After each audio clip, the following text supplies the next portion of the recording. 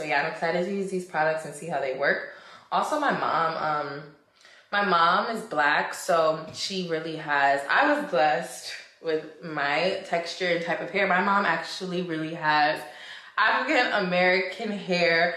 Don't take this the wrong way. Sis, my mama got naps, okay? And she be struggling trying to find the right products for her hair because she is natural. Um, she's always like, you're just so lucky. Don't be complaining about your hair. I don't be complaining about my hair because I don't do much to it. Um, but I will say I am super blessed when it comes to my hair texture because I be seeing my mama do her hair and oh my gosh, if I was her, I would have done the same thing and cut it all off.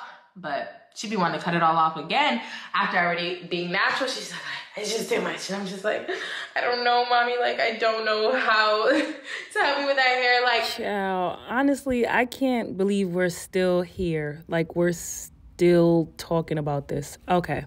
So shout out to one of my subbies for actually sending me this story. I am not subscribed to this young lady's channel, but this is Rihanna Monique. She is a luxury lifestyle uh, beauty influencer here on YouTube and Instagram. And what you just saw was a clip from her recent video where she discussed some hair products, black owned hair products, might I add. And she discussed her hair texture and her mother's hair texture. She said that she was blessed not to have her African American mother hair texture. So, most of her subscribers were really surprised by this and they left comments telling her that her statements were anti black and texturist. Instead of addressing the comments, she turned off the comments and clipped that part out of the video. Many of her subscribers said that they were going to unsubscribe and again felt offended because she said that she was blessed to not have naps slash African American hair. Now, y'all know I do not hold back, nor do I bite my tongue when it comes to this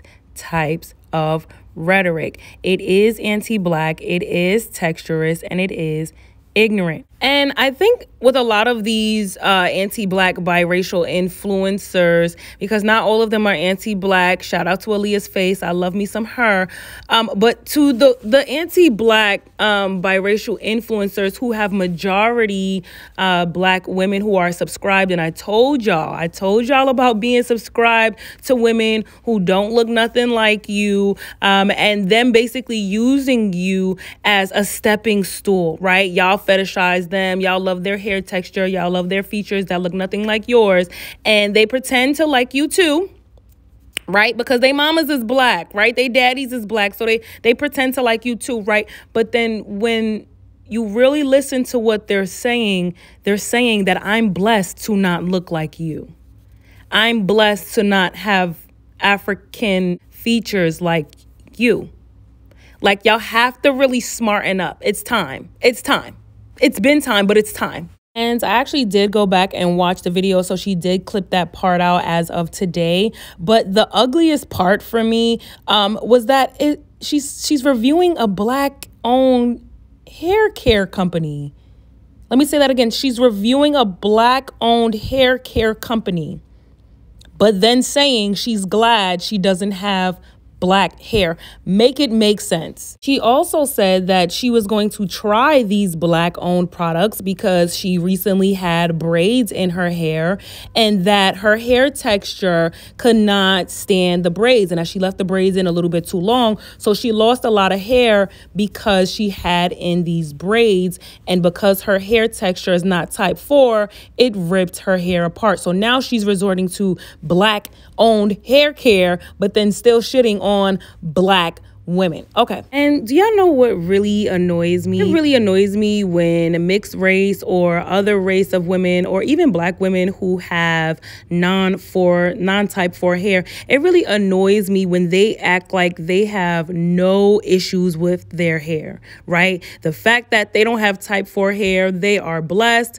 and they have no issues with their hair. It really irritates me because I have so many friends that are hairstylists and they know for a fact most women across the board from type 1 to type 4 most women have complaints about their hair. Whether it be your hair is too greasy right? Their hair is too thin you know heat damage color damage. They wish they had more length. They wish they had you know more more strands. Like i hate when women pretend that because they don't have type 4 hair they are blessed. They have no issues. When i'm literally looking at heat damage on your head you're literally saying that braids ripped out your hair because your hair is too thin. Complaining about your hair being too fragile. You're giving us all of these complaints, but then saying that you're blessed. So your hair could be to shit. Your hair could be as shitty as, as shitty as ever fragile as a toothpick, but because it's not type 4, you're blessed. Get the fuck out of here. No. It's like, so you feel like you're blessed because you don't have African American hair. So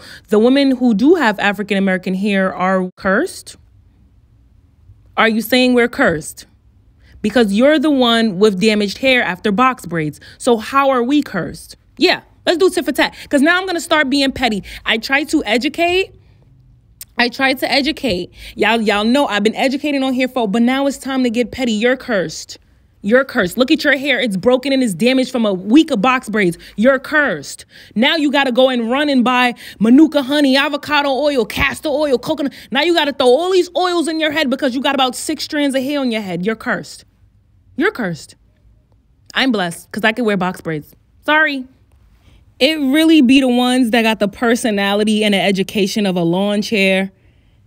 But because they throw luxury on top of everything, because they have incredible amounts of debt, you know, like, and they throw luxury on top of everything, they think they could just say whatever the fuck they want. No, no, you can't. Not, not, not while I'm watching. Sorry. What? Yo, this lady really said her mama got naps you know, she's so she's she's glad she doesn't have her mama hair. Now let's talk about the mama. Let's get into it. Now, she said that her mother always tells her that she's lucky to not have, you know, the quote unquote nappy African American hair. So she's actually regurgitating what her mother has always told her. Her mother tells her, You're lucky, so you should never complain about your hair because your hair ain't as thick and as nappy as mine. And black women, I want to know why you think that women who have stringy hair, thin hair, silky hair, I want to know why you think that they're lucky and you're not. I want to know why or how we can get you to the point of self-love. I want to know why when you when you use protective styling and you're using wigs why you never use wigs that replicate or clip-ins or whatever that replicate your natural hair texture. What do you have against your own hair? Because it's time. I posted a photo of my haircut, you know, my hair in its natural state, short, 4C, thick, Nigerian hair. Yeah. I love her. And and I'm usually so humble about my hair, but it's it's time. And this is specifically for my type 4C gals. It's time to get cocky about your crown. Can we make that a thing? It's time to get cocky about your crown because we got to let these other bitches know because they're bitches. We got to let these other bitches know I'm blessed. You see this thickness? You see, I can get any style that I want. You see the shrinkage, but my shit is really down my back. I'm blessed. No more humbly natural. It's time to get real cocky about the crown because the problem is other women are cocky about their crowns, right? Not only are they cocky about their crowns, you're cocky about their crown. You feel more confident when you got their hair on versus your natural hair, the most beautiful, versatile, authentic, original. Huh? Make it make sense, huh? I'm blessed. I'm blessed. My hair defies gravity. Are you insane? Who does that? I'm magical. Who does that? You basic earthlings can never. Yeah, It's time. Now, if she can openly say that, you know, I'm blessed to not have African American hair, what other blessings does she think she possesses? And that's where we get into colorism because colorism is never too far from texturism. Yeah, she's also thinking that she's blessed because she don't look like African Americans. Can, can oh, is that a reach? Is that a reach? It, that's y'all fave. So let me let me skip that part. I actually want to do a hair care routine video on my short 4C hair um, titled 4C hair is under attack because it really is. Like I can't turn left, I can't turn right without either A, uh, you know, someone saying something self-hating, like, oh, I hate my 4C hair. B, uh, biracial women saying I'm blessed to not have 4C hair. C, black women who are supposed to be supposed to be hairstylists saying that they are not doing 4C hair. Our crown is under attack, ladies. Our crowns are under attack, ladies. This is this is war. This is war. We're under attack.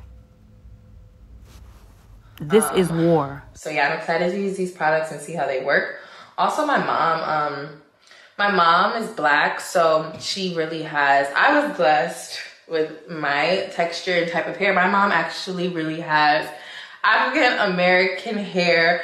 Don't take this the wrong way sis, my mama got naps, okay? And she be struggling trying to find the right products for her hair because she is natural. I will say I am super blessed when it comes to my hair texture because I be seeing my mama do her hair and oh my gosh, if I was her, I would have done the same thing and cut it all off. But she'd be wanting to cut it all off again after already being natural. She's like, it's just too much. And I'm just like, I don't know, mommy. Like, I don't know how to help me with that hair.